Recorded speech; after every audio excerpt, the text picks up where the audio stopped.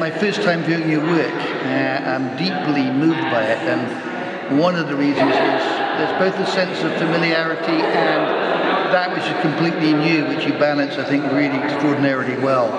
And that is uh, a reconsideration in the Western sense and Eastern sense, and maybe beyond, of the notion of landscape and what space means. And if we think in general of art in the Western world particularly, but not only, and in other parts of the world, dealing either with the body or space.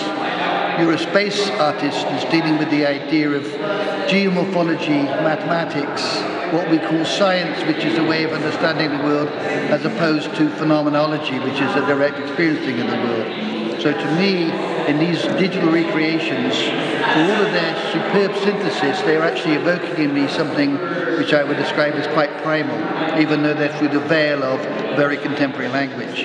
And so you have the idea of something which is ancient with something which is contemporary.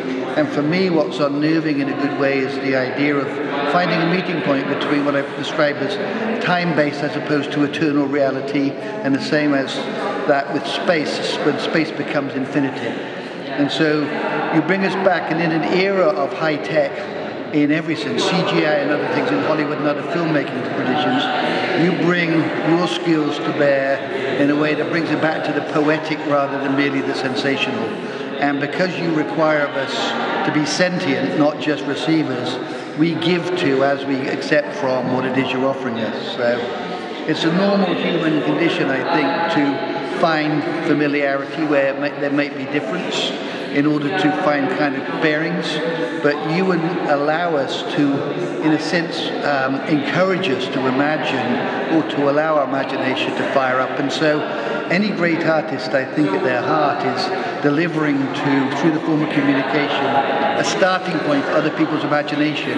So you generously provide the arena within which our imaginations will fire up and, in a sense, finish the work. So for all the work you've done, each one of us in this room and every other place you show, depending on culture, background, experience, are going to respond obviously in different ways. But I think the drama is when something is kinetic and dynamic like this, as opposed to being static, it has a different kind of way of entering into our consciousness. And as I said to you earlier, what I saw and I thought of when I first saw this work was the writings of Gordon Onslow Ford and the paintings of Roberto Matta and Gordon Onslow Ford there's a group here in San Francisco in the 50s that you need to research called Dynaton, which featured three main artists. That was Gordon Onslow Ford, Matta and Lee Mullican, and Wolfgang Paalen. And these artists were the first explorers in the Western tradition of what are called psychic landscapes.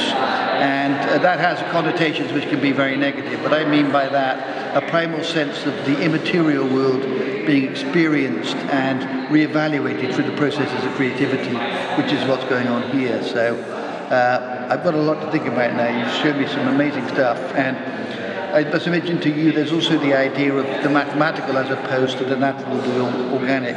The digital, obviously, in its facility to beguile us and to hold us in a number of ways our attention because of its immaculate seamless presentation is usually not associated with something which is much more sensual or visceral or psychological but you balance within this clean immaculate world you actually evoke a sense of the sensual and the spiritual at the same time in ways that I think is extremely powerful.